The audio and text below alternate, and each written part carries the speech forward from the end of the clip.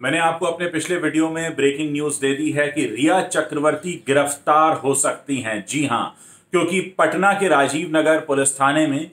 सुशांत सिंह राजपूत के पापा के के सिंह ने जो शिकायत दर्ज कराई है, उसमें साफ़ लिखा है कि रिया चक्रवर्ती ने सुशांत सिंह राजपूत की गर्लफ्रेंड बनकर उनके साथ धोखा किया, उनके पैसे हड़प लिए और उन्हें आत्महत्या के लिए उकसाया। ये बहुत संगीन आरोप लगे हैं रिया चक्रवर्ती पर और ये आरोप लगाए हैं सुशांत सिंह राजपूत के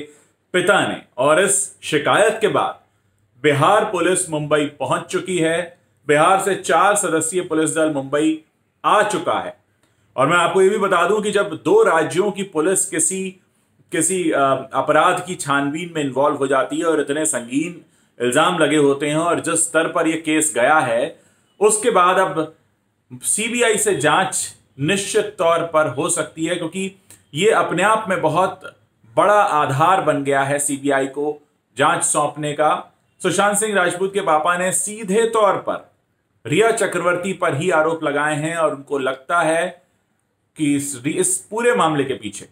रिया जिम्मेदार है। उधर डॉक्टर सुब्रमण्यम स्वामी ने यह भी खुलासा किया है कि जो 50 सिम कार्ड की थ्योरी है जिसको अभी तक थ्योरी कहा जा रहा था डॉक्टर सुब्रमण्यम स्वामी का कहना है कि उनकी किसी से बात हुई है जो इस पूरे मामले को इन्वेस्टिगेट कर रहे हैं और उन्होंने इस बात को कंफर्म किया है कि ये थ्योरी नहीं है, बल्कि वाकई में सुशांत सिंह राजपूत ने 50 सिम कार्ड बदले थे। तो ये दो बड़े अपडेट हैं आपके सामने और मुझे लगता है कि जिस तरह से कार्रवाई अब हो रही है, इसमें निश्चित तौर पर अगर दूसरे राज्य की पुलिस आती है तो जिसके खिलाफ इतना संगीन आरोप है ये भले ही हत्या है, या आत्महत्या है, लेकिन विक्टिम के पिता का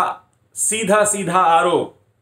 ये गिरफ्तारी की बुनियाद तय कर देता है। और हो सकता है कि अगली खबर जब मैं आपको सुनाने आऊँ तो उसमें मैं आपको बताऊँ कि रिया चक्रवर्ती, गिरफ़्तार हो गई है। फ़िलहाल अभी ये जो इस समय माहौल बनता दिखाई दे रहा है, वो इसी तरफ़ जा रहा है। मैंने आपको पहले भी बताया था कि अगले पाँच दिन बहुत महत्वपूर्ण हो सकते हैं। परिवार का इस तरह से खुलकर सामने आना और सीधे सीधे रिया का नाम लेना अपने आप में